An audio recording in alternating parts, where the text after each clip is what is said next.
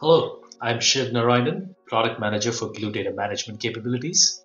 And in this video, I'm going to show you how to set up data quality checks for your data assets that are cataloged in your Glue Data Catalog. From the Glue's landing page, let's click on Databases, which is under the Data Catalog option. Let's select Billing Database.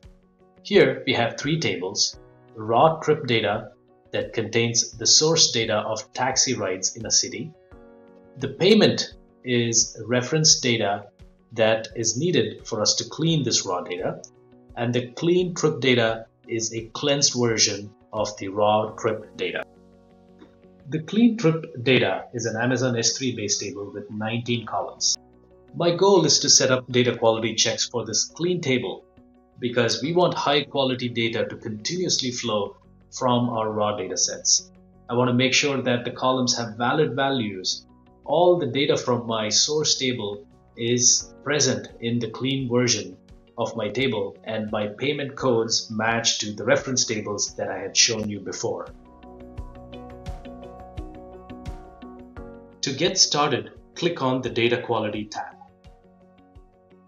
Now click on Create Data Quality Rules. The difficult part of creating data quality checks is the need to manually analyze the data and create data quality rules. Glue Data Quality automatically generates these rules that reduces your real creation process from hours to just minutes. To auto-generate these rules, click on Recommend Rules, provide an IAM role that has permissions to the dataset, if needed, you can provide a filter condition to filter data from the source, provide the number of workers that are needed to process this data, and click on Recommend Rules. The recommendation process has started. Glue analyzes your data, gathers data statistics, and auto creates the data quality rules so that you don't have to manually analyze the data and author them. This saves you days of manual work. Now, the data quality recommendations are complete. Let's explore the recommendations.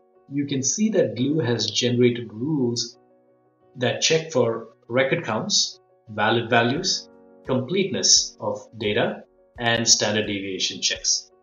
These are generated based on your dataset that makes these rules highly relevant for your use. I'm going to select all of these rules and insert them in my canvas. You can see that one of these rules say that the trip distance should be under 306,000 miles, which is most likely caused because of bad data in my dataset. I want to limit my trip distance to be under 500. Now, one of my requirement is to make sure that all payment types in the dataset is present in the master payment dataset. Glue provides several out-of-the-box checks to accomplish complex rules like these. To do this, I am going to add a referential integrity check by navigating the helper and by selecting this specific rule type. On clicking the plus button, Glue adds the referential integrity rule type with an example for you to customize. Click the Schema tab and select Update Reference Tables to add the reference datasets that you want to use in your rule set. Use the schema browser to easily replace example fields with actual table names and column names. Now, we have a referential integrity rule with a threshold of 1, which means that 100% of payment types should be present in the reference table provided here. I have another requirement to ensure that all my data from raw table is loaded to my clean table. If it was a small table, I have rule types to compare two datasets, but my table has 22 million records and I want to be efficient about how I compare my data. For this, I will use aggregate match, a rule type that compares aggregate measures between two different tables. I have created a rule that compares the total amount between my raw table and my clean table. To meet my final requirement, I'm going to use a custom SQL rule type. The custom SQL rule type allows you to write SQL-based rules to handle complex business requirements that cannot be met by out-of-the-box rule types. In this scenario, I need to set up a rule to ensure that passengers were present when taxi charges were incurred. Let's now go ahead and save the rule set and provide a name. I'm clicking run to evaluate the rule set. I have selected a role that has permissions to this dataset. I have selected the options to publish metrics to CloudWatch and EventBridge. I have also selected a location to store the data quality results. We have options to run this scan on a schedule or on demand. We will choose on demand.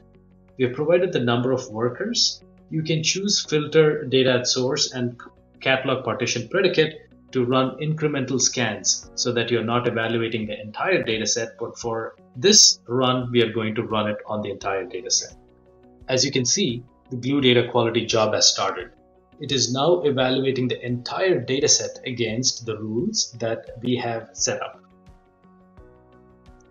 The evaluation is now complete.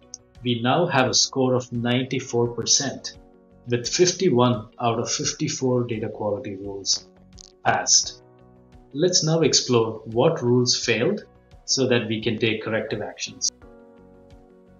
Our results contain a status message which tells us whether the rule passed or failed and evaluated metrics that provides us information and insight into what the actual values are. For example, the first rule has a row count validation, but the evaluated metrics provides us the exact number of rows in the dataset.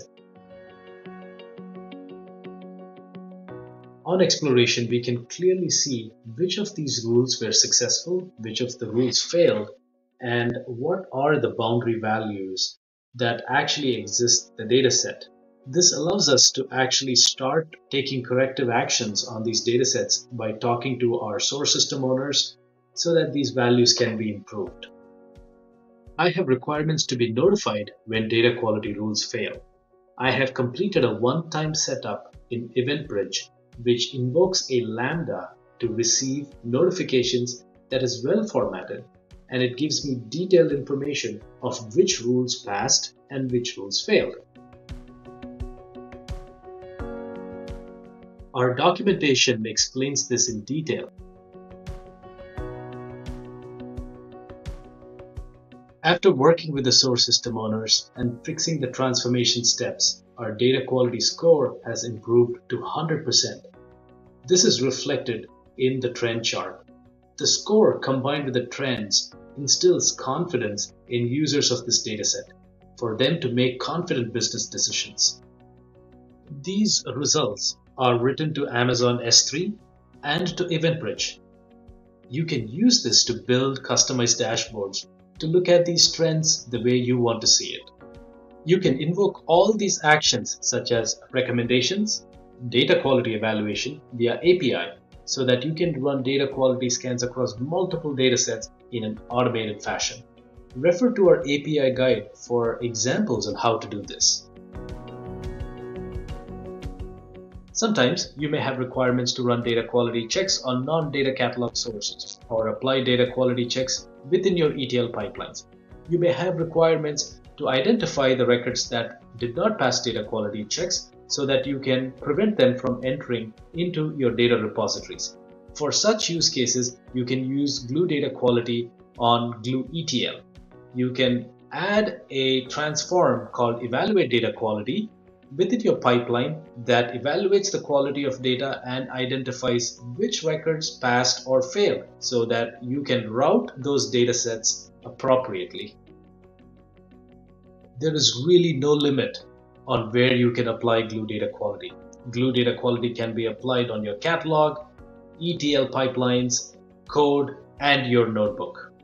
For more information on how to do this, review our Glue data quality documentation or watch the video linked below. Thank you so much for watching this demo.